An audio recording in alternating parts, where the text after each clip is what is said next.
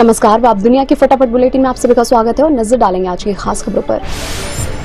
रूस हमले में पंद्रह से ज़्यादा पुलिस वालों की हत्या, एक पादरी का गला काटा, सात आतंकी ढेर, हमलावरों ने पुलिस थाने और चर्च में लगाई आग, जान बचाकर इधर उधर भागे लोग। सोशल मीडिया में सामने आया डराने वाला खौफनाक वीडियो।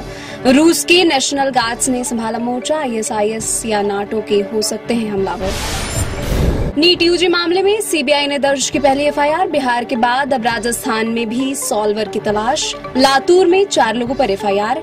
बिहार झारखंड, यूपी गुजरात महाराष्ट्र समेत देश के कई राज्यों में फैला है नीट पेपर लीक का जाल। परीक्षा में पेपर लीक और अन्य सुधार को लेकर अब केंद्र सरकार एक्शन में। परीक्षा सुधार को लेकर केंद्र सरकार ने उच्च स्तरीय पैनल गठित की। सोमवार को उच्च स्तरीय पैनल करेगी तीन बैठकें।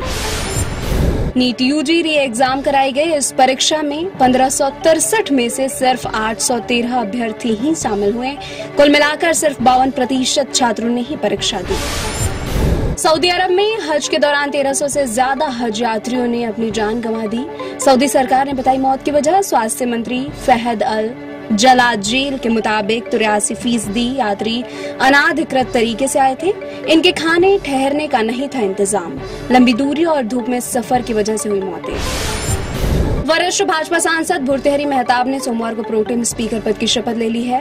राष्ट्रपति द्रौपदी मुर्मू ने राष्ट्रपति भवन में भूरतेहरी मेहताब को शपथ दिलाई। बता दें कि आज से अठारहवीं लोकसभा का पहला सत्र शुरू होने जा रहा है।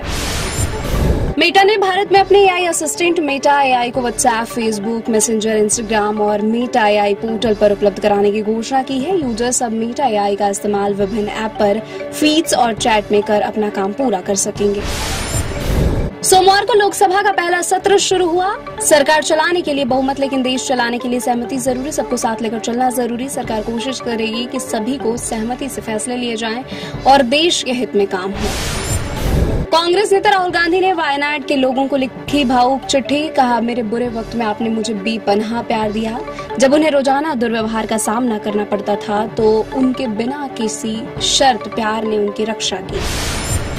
इंग्लैंड ने रविवार को टी ट्वेंटी विश्व कप में सुपर आठ ग्रुप दो के मुकाबले में अमेरिका को रिकॉर्ड 10 विकेटों से हराकर सेमीफाइनल में जगह बनाई।